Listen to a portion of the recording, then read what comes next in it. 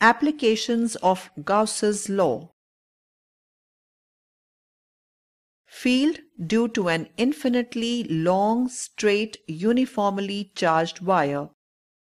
Consider a long, thin, uniformly charged wire and we have to find the electric field intensity due to the wire at any point at perpendicular distance from the wire.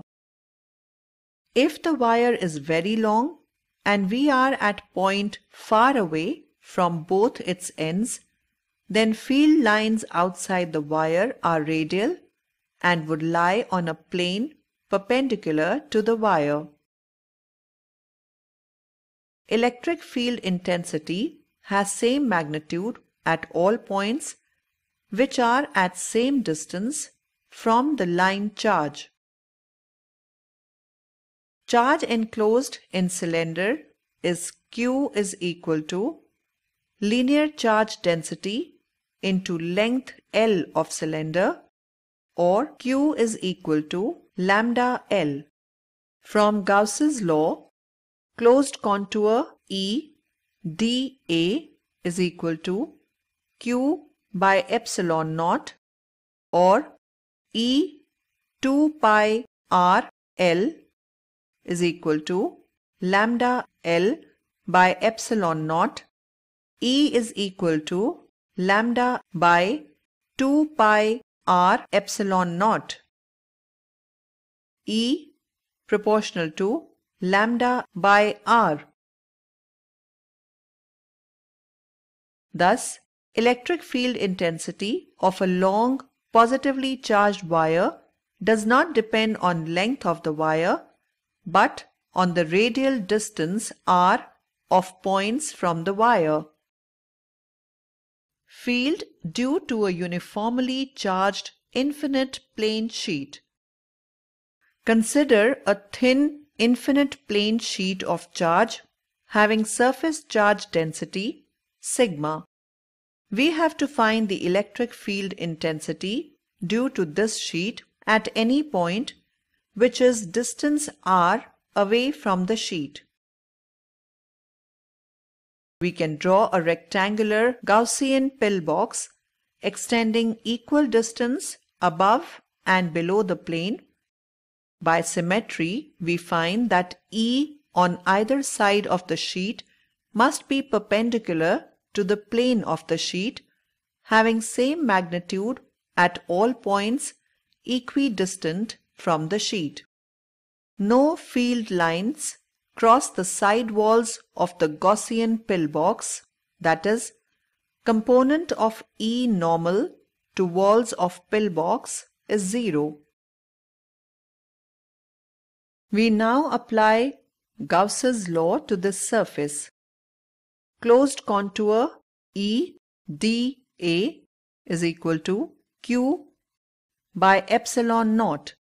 In this case, charge enclosed is Q is equal to sigma A, where A is the area of end face of Gaussian pillbox. E points in the direction away from the plane, that is, E points upwards for points above the plane and downwards for points below the plane. Thus, for top and bottom surfaces, closed contour EDA is equal to 2AE. Thus, 2A is equal to sigma A by epsilon naught or E is equal to sigma by 2 epsilon naught.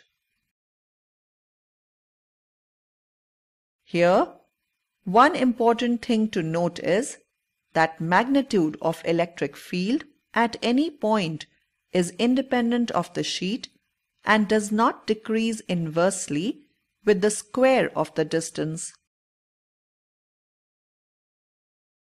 Field due to a uniformly charged thin spherical shell. We'll now apply Gauss's law to find the field outside uniformly charged solid sphere of radius r and total charge q. In this case, Gaussian surface would be a sphere of radius r is greater than r concentric with the charged solid sphere from Gauss's law closed contour E d a is equal to q by epsilon naught where q is the charge enclosed. Since electric field points radially outwards, we have closed contour E dA is equal to E closed contour dA.